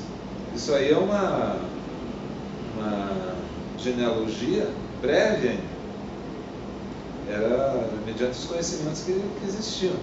Hoje a gente sabe que a história humana é bem mais antiga ainda. Quantas, quantas coisas né, anteriores a essa última era glacial a humanidade passou? Deixaram marcas. É, que, nesse esquema de raciocínio tenham deixado muitas marcas também. Né? Então, assim, dá para a gente ver que a precariedade aqui é que ele organiza conhecimentos precários. Organiza formas de conhecimento que, na verdade, hoje em dia, por exemplo, a gente sabe que é bem insuficiente isso aqui. Falar só da era glacial, está falando de um período razoavelmente recente, em termos de história. E tem muitas complexidades também nesse processo. Por exemplo, essa evolução ela não ocorreu linearmente também, como se supunha. Hoje em dia a gente sabe que ela, que ela é uma evolução não linear. Houve a convivência de espécies eh, de hominídeos, né, que você considerava que elas estavam sequenciais, e na verdade conviveram ao mesmo tempo. E que não tiveram a mesma origem também. Teve, existiram manifestações humanas em lugares isolados, lugares que é, essa ideia da, do caminho pela África, da expansão tal, um, um troço meio furado. Então tem muita coisa aí que deveria entrar na conta né, desse sedimento psíquico, essa confluência. Nós temos, por exemplo, genes que não são só de Homo sapiens. As espécies é, tiveram intercurso. É, algumas desapareceram por assimilação. Hoje em dia se sabe assim que as coisas não foram assim, elas acabaram, o verde atravessou. Muitas vezes essas, esses outros hominídeos foram assimilados assimilados inclusive geneticamente, né? por recurso. Em todo caso, ah, como ele se refere a essa fase glacial como importante né, para o surgimento da angústia, ele vai chegar à conclusão também que uma parcela das crianças traz consigo aquele temor primitivo da era glacial o que agora introduz a, agora induz a tratar a libido insatisfeita como um perigo externo. Está pensando ali, mais ou menos, como no caso do pequeno hamster. Cavalo. E vai pensar também que na neurose de angústia haveria a preponderância da disposição filogenética sobre todos os demais fatores. Exatamente por quê? Porque ele situa o surgimento da angústia nesse momento. E aí, no final do texto, no final mesmo, a última coisa que ele diz é o seguinte: fica evidente que com esses esclarecimentos não conseguiremos senão salvar, olha só a expressão que ele usa, nossas fantasias científicas da censura de que são absurdas. Ele só conseguiu salvar as teorias, as fantasias científicas, que elas são absurdas. Pretensão baixa, né? Pouca pretensão. Interessante que no texto Neurose de Transferência escreve É, o final do texto. Tudo, É. esse, esse trecho que você tirou, interessante, né? Em todo caso, elas mantêm seu valor como desilusão saudável. Aí a gente entende um pouco melhor a, a cabeça do Freud. Né? Veja, ele não tem tanta preocupação efetivamente de explicar as coisas a partir dessa fantasia científica. Mas elas não são absurdas né? e têm um valor. E esse valor é o quê? A desilusão saudável. Por exemplo, você naturalizar o processo. Né? Ou seja, depois a gente vai olhar as cartas, tem uma redundância isso.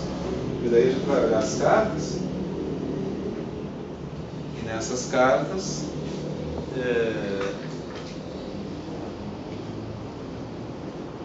esse aspecto da, da desilusão saudável vai ficar ressaltado. Quer dizer, é, é importante a gente naturalizar a experiência. Mesmo que, para poder explicar essa naturalização, você tem que passar também por um elemento né, que, bem ou mal, fica caracterizado como uma espécie de fantasia. Porém, é diferente, e aí que vem a questão da construção de uma metapsicologia em contraste com uma metafísica, mas uma metafísica transcendente. Ele não está falando contra uma metafísica imanente, porque é isso que ele faz. Verdadeiramente, Schopenhauerianamente, Lamarckistamente. É, é, colocando então essa, essa naturalização do ponto de vista de uma é, possibilidade né, de se falar do humano e tirar esse humano justamente dos conceitos transcendentes que remetem a Deus, uma criação, é possível falar de uma origem sem remeter a discursos transcendentes. É uma fantasia, mas é uma fantasia científica. Isso implica em quê? O futuro de uma ilusão. Implica em quê? A diferença. A, a fantasia metafísica, ela não é, não é passível de ruptura. Né? aquilo é aquilo mesmo, ponto e acabou. Enquanto uma fantasia científica, ela vai necessariamente ser rearticulada, ser refinada e ser reconduzida à verdade. E a verdade ela é temporalizada, ela não é uma coisa que você vai atingir por, por revelação. Né? Você vai, não vai descer do Monte Sinai com eu isso debaixo do braço vai ser possível fazer isso. Você vai fazer é construir hipóteses. E para isso você vai precisar de conceitos heurísticos. Mas esses conceitos heurísticos são provisórios. Eles têm essa característica. Isso não é ruim. É porque a gente precisa organizar os dados da experiência. A experiência ela, ela precisa fazer sentido. Ela não precisa fazer no sentido último. Pode ser reorganizada. Assim como quando a gente começa o estudo, a gente tem uma ideia da coisa, e à medida que a gente se aprofunda, a gente muitas vezes remodela tudo. Qual é o problema? Ah, mas eu não posso, porque afinal de contas lá na origem eu pensei isso, então eu vou entrar em contradição com depois, ué? Por que, que não? Se eu já não penso mais daquele jeito, eu posso entrar em contradição comigo mesmo sim. É até útil e necessário que eu faça isso. Por isso que eu estou filiado a um paradigma científico e não a uma visão de mundo filosófico religioso. Senão, né, não, não posso me mexer daqui. Uma vez que eu constituí meu pensamento, ele tem que ser inviolável. Por isso que eu não queria proximidade exagerada com filosofia, muito menos com religião. E aí ele faz o caminho inverso, que é isso que a gente vai ver nas cartas possibilidade de você analisar tudo por esse viés metapsicológico. Exatamente como faria uma visão de mundo religiosa. A diferença é que essa é, metapsicologia ela é uma estrutura hipotética. Não é uma tentativa, uma carteirada né, uma sentença que diz que as coisas são de uma vez por todas e que não podem mais ser mexidas aqui. Por isso que né, isso é ótimo para os psicanalistas ouvirem, por quê? Porque os psicanalistas têm assim, uma certa predisposição a achar que os conceitos freudianos, lacanianos, etc., etc., são invioláveis. Né? Você tem que ficar com eles. E é complicado. Né? A quebra narcísica, onde está a quebra narcísica? Entendeu? Se a psicanálise é em si mesmo narcísico, ela tem que pressupor que esse golpe narcísico é próprio de uma visão do mundo científico. E que vai acontecer de novo, de novo, de novo, de novo, até não acabar mais. Enquanto a gente não conseguir uma imagem melhor do que seria o funcionamento das coisas. Então o narcisismo não cabe. Inclusive o narcisismo de classe, o narcisismo corporativo. Né? E é o que a gente vê, né? As pessoas falam, por exemplo, em rigor formal, né? em rigor teórico, querendo dizer com isso que a teoria é inviolável, que elas têm a interpretação correta. Bom, para mim, isso aí não passa de religião. ponto de vista religioso. Vendo a psicanálise como uma coisa acabada teoria da psicanálise é a coisa menos acabada possível imaginável. Teoria. Entanto, a, é, não quer dizer que ela não, não tenha referência né, empírica e não quer dizer que ela não tenha significado não seja importante. E que nós não possamos nos apoiar nela. Né. Só que isso não faz a teoria evoluir, não faz a teoria alcançar níveis de, vamos dizer assim, de, de apropriação desse, desse mundo empírico mais significativos, né? mais importantes, que tornem justamente a coisa daí por direito mais adequada. E não porque você está dando uma carteirada, é assim, pronto, acabou. Por que, que as coisas são assim? Porque me ensinaram. Sabe que essas coisas são ouvidas dentro da associação de psicanálise o cara é questionado de por que, que é assim, e ele diz assim, não, e foi assim que eu aprendi. Você ouve esse tipo de As pessoas vêm falar, eu ouvi isso. E esse enraizamento, principalmente presente nas posições de cada um lá dentro, que são eternas, não tem movimento, não tem. Sim. A coisa, ela funciona como um fenômeno narcísico.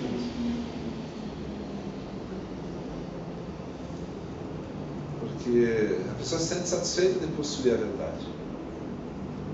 É isso que sempre fundamentou, né? Então quem tem a retórica, quem tem a capacidade retórica, impõe a, uma versão dos fatos. E essa versão dos fatos, né, como é uma reverberação, então a pessoa se sente muito satisfeita com a própria sabedoria. Agora, a gente já vê lá Sócrates, entende? Isso ser combatido preciso muita. e muito. Assim, não precisa de tanta psicanálise. Assim, né? E toda vez que surge um paradigma novo, ele necessariamente vai produzir um golpe narcísico na humanidade mesmo. Né? Vai.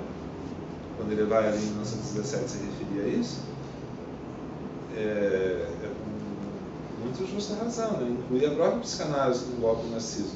Mas e o golpe narcísico interno, né, para fazer a, a própria teoria é, se tornar mais consistente? Pô, ele faz esse esforço ao longo da vida dele de reformular.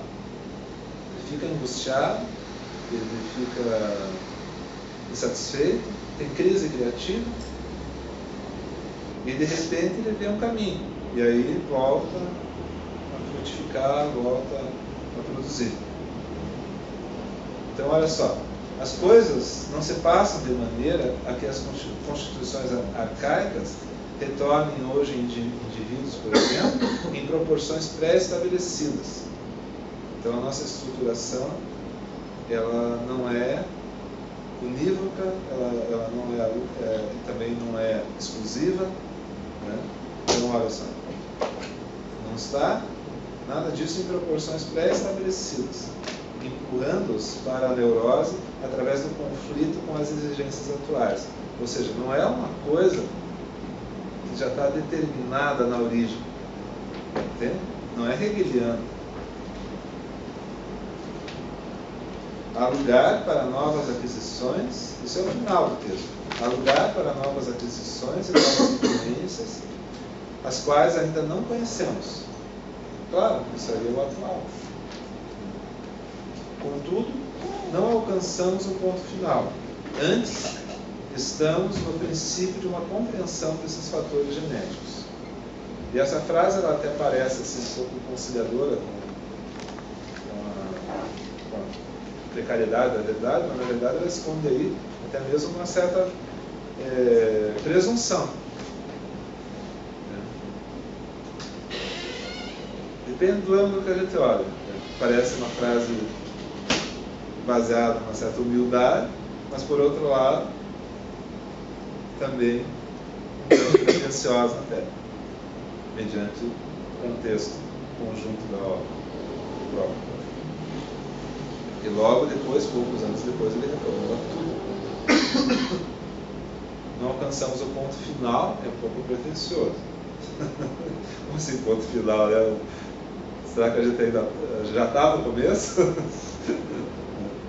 Por outro lado, antes estamos no princípio de uma compreensão desses fatores genéticos.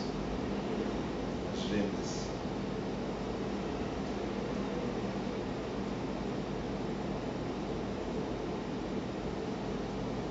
E olha a carta que ele, em 18 de março de 1919, é, então, portanto, né, é, durante o processo que vai resultar em além do princípio do prazer, ele diz assim, 18 de março de 1919, onde está minha metapsicologia? Olha que frase agressiva, porque ela pergunta para onde está a sua metapsicologia? Você fala, fala e não nos manda para publicar. Daí ele responde assim, onde está a minha metapsicologia? Por enquanto continua a não ser escrita. Uma frase meio, tipo, meio deixa a paciência.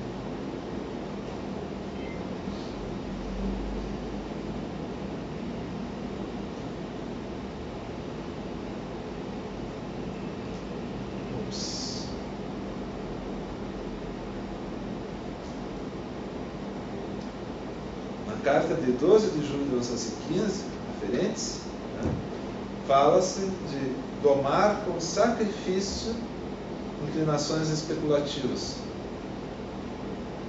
Justamente porque se tratava de fantasias.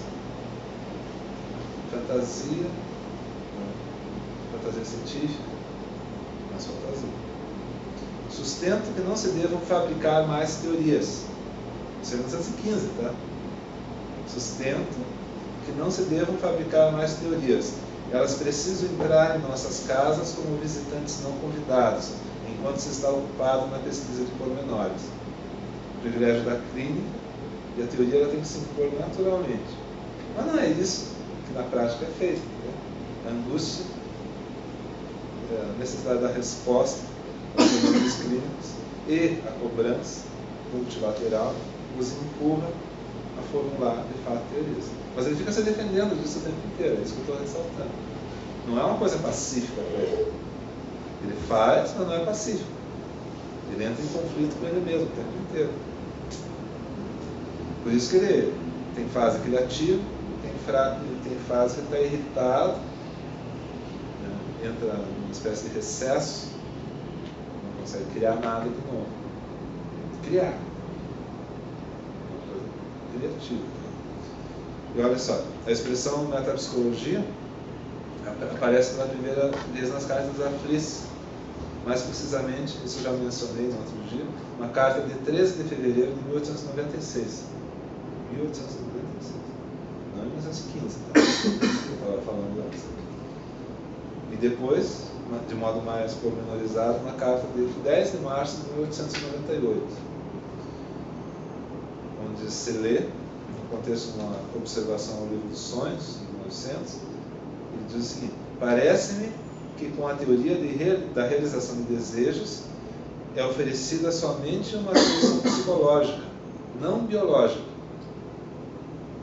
Ou melhor, metapsíquica.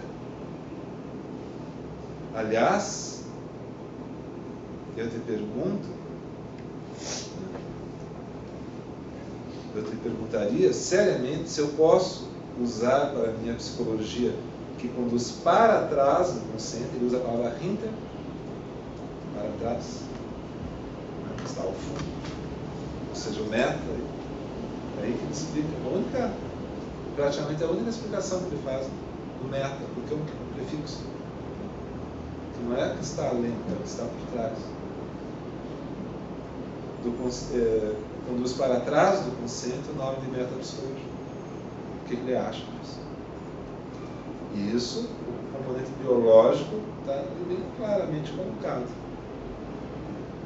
O que está por trás da, da psicologia é a filogenética.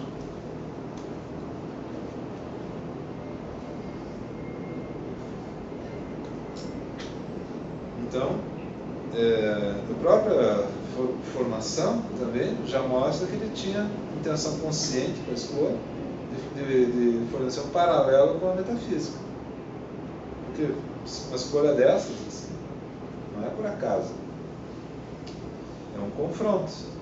confronto não com qualquer tipo de metafísica, mas com uma metafísica que pretende fazer um discurso de fora para dentro. Né? Por exemplo, mito de origem. O mito de origem dele é o patriarca da ordem primitiva, que é uma coisa sociocultural, orgânico, está dentro do escopo. É uma fantasia cósmica? É. Mas é uma coisa da qual ele pode abrir mão. Poderia.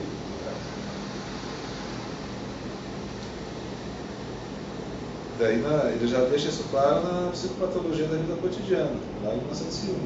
Ele diz lá o seguinte: ó, acredito realmente que uma grande parte do conceito mitológico do mundo, que avança até penetrar nas grandes, nas grandes religiões, outra coisa não é senão psicologia projetada no mundo exterior. Ou seja, essa metafísica. É psicologia projetada no mundo exterior. O conhecimento obscuro, por assim dizer, percepção endopsíquica, de fatores e relações psíquicas do consciente, reflete-se na construção de uma realidade sobrenatural, a qual deverá ser transformada pela ciência em psicologia do inconsciente. É isso que vai aparecer lá no texto sobre o estranho. A ideia de que essa tela, essa, escuridão do, do índio, povoada né, do medo da sexualidade e da morte, é que vai ser projetado no daí com todas essas manifestações que a gente conhece.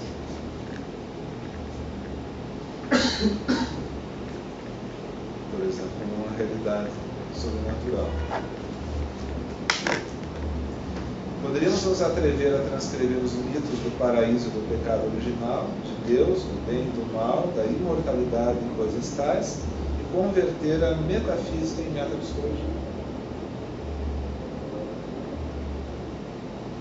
Então a metapsicologia ela tem uma função que não é assim aleatória, não é simplesmente um capricho, é a necessidade de colocar a psicanálise uma forma de leitura do mundo.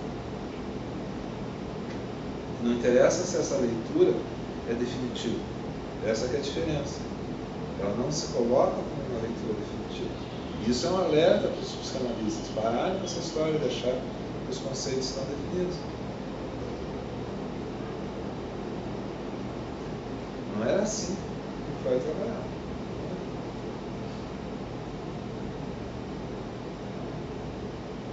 A necessidade metafísica da unidade, que eu coloquei no semestre passado, no texto do Schopenhauer, é, vem nesse contexto. Né? Existem metafísicas é, transcendentes, né? que uma necessidade metafísica que vai construir a coisa à maneira das religiões organizadas.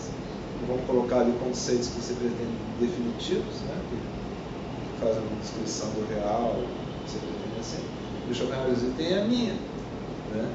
que eu procuro apenas dar uma explicação do mundo a partir do próprio mundo e por isso ela é necessariamente imperfeita.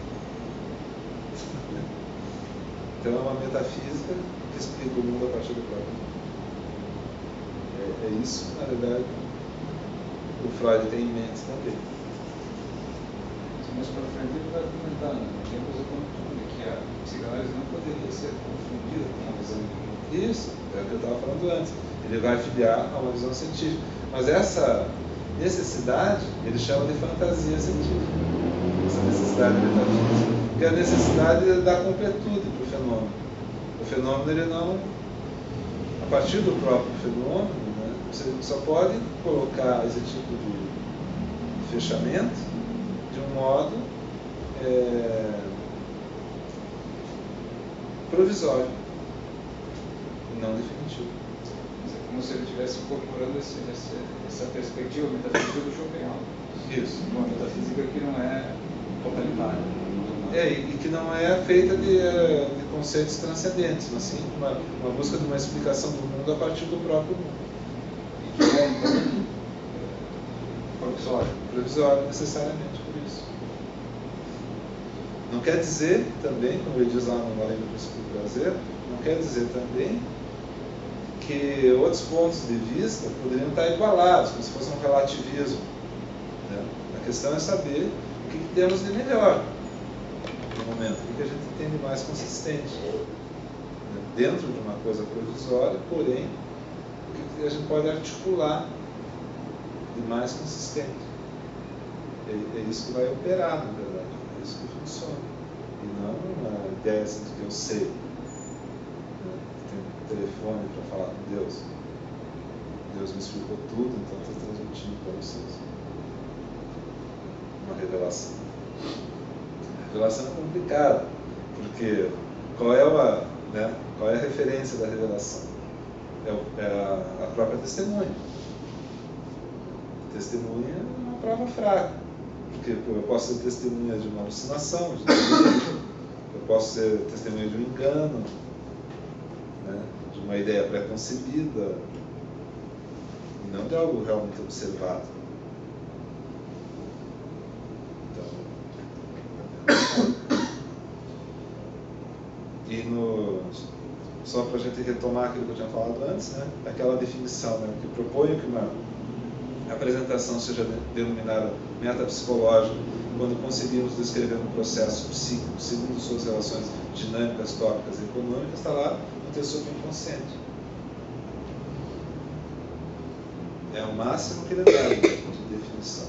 Aquela ideia lá do que está por trás e essa ideia de descrever a partir de três pontos de vista. É o que vai caracterizar mesmo o momento. Então, esses escritos, né, que a gente poderia dizer assim, tem uma perfeição da pesquisa psicanalítica, no sentido de perfectibilidade maior dela, a gente vai encontrar onde? No esboço de uma psicologia, interpretação dos sonhos, a formulação dos dois princípios do processo mental, do acontecer psíquico, né? sobre o narcisismo na introdução, simpliçais, metapsicológicos, os três da metapsicologia em si, mais luto, melancolia e o suprimento metapsicológico de lições, que são todos irmãos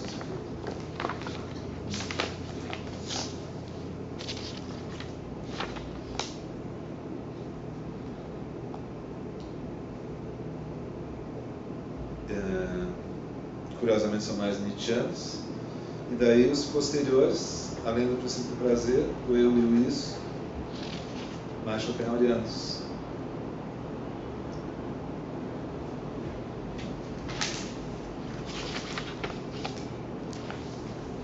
Então, o, problema aí é a participação da disposição herdada na etiologia das neuroses. Isso aí é o ponto, o fio condutor desse negócio todo, que vai justificar todo o processo né, de fantasia científica, construção de hipóteses, né, conceitos heurísticos. E aí você tem as questões de recalque, investimento contra investimento, formação de substitutos de sintomas, função sexual, regressão, fixação, disposição. Todos esses problemas têm vínculo com essas questões filogenéticas. Então, são, é como se fossem fios, né?